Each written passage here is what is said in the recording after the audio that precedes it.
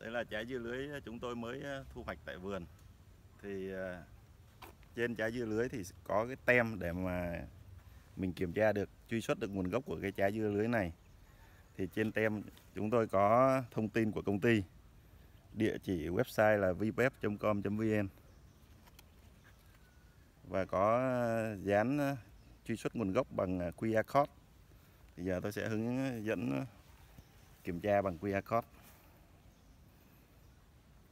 mình sẽ sự mở cái uh, chương trình mà quét mã QR lên. Mình đặt lên cái tem rồi sẽ dẫn tới một cái đường link thông tin. Có cái vùng ờ, vị trí của cái farm vị trí của farm rồi có thông tin uh, dưa lưới VPEP RZ901 có hạn sử dụng 10 ngày hướng dẫn sử dụng và bảo quản. Có thông tin của công ty trồng và đơn vị phân phối. Ờ, thông tin vùng nguyên liệu ở Long Thuận, Long Phước, quận 9, Hồ Chí Minh. À, có thông tin cây trồng, tên loại giống, ngày trồng và mùa vụ. À, xin cảm ơn.